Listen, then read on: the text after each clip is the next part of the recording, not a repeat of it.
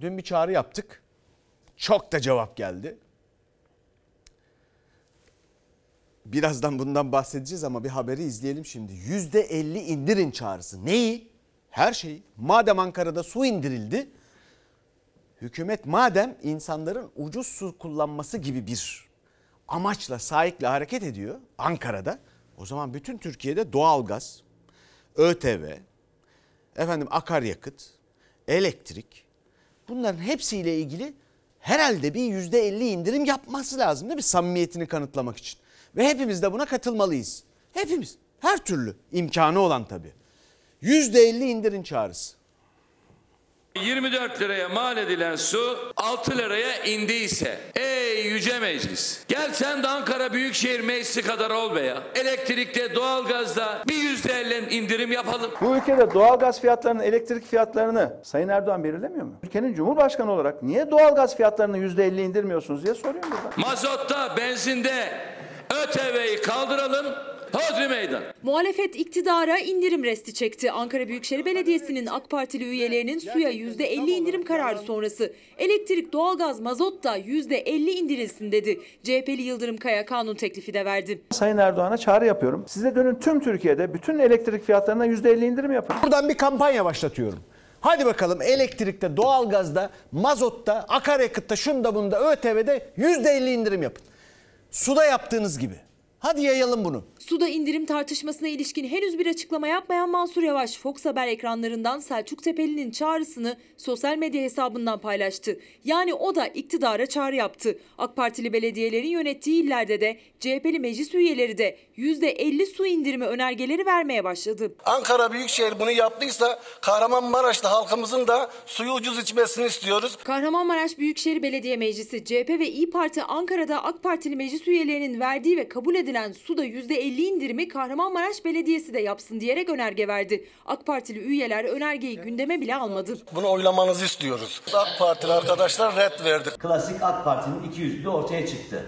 AK Partili meclis üyeleri gündeme dahi almadılar.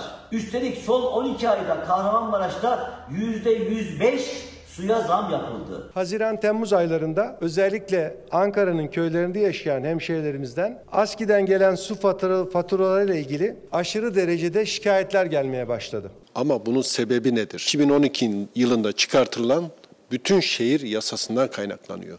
Bu bütün şehir yasasıyla Nallıhan'ın bir köyü, Beypazarı'nın bir köyü. Bunların hepsi mahalle oldu. Merkezde nasıl bir faturalandırma sistemi varsa aynısı oraya uygulandı. AK Parti suda %50 indirimi köylere gelen yüksek faturalar diyerek açıkladı ama 2012 yılında AK Parti'nin Büyükşehir yasasını çıkarmasıyla köylü su faturasıyla tanıştı. Çünkü köyler mahalle sayıldı o yasayla. Kanuna göre köylerde suyun %25 indirimli olması için bağlı oldukları ilçe belediyelerinin Büyükşehir Belediyesi'ne başvurması gerek. Ama Büyükşehir Belediye Meclisi'nin CHP'li üyesi Yaşar Neslihanoğlu ilçe belediyelerinin bu başvuruyu yapmadığına dikkat çekiyor. O belediyelerin AK Partili olmasına. Şu an hala ilçe belediyelerinden bu kararların alıp da bize ulaşılmayanlar var. O ilçe belediyeleri hangi partinin ilçe belediyeleri? Taşra belediyeleri bunların tamamı da AK Partili belediyeler.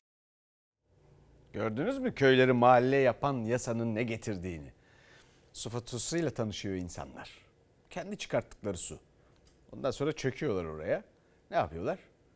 İşte faturayla bilmem neyle şunla bunla. Bir takım gelirler. Her neyse bırakalım bu küçük siyasi hesapları.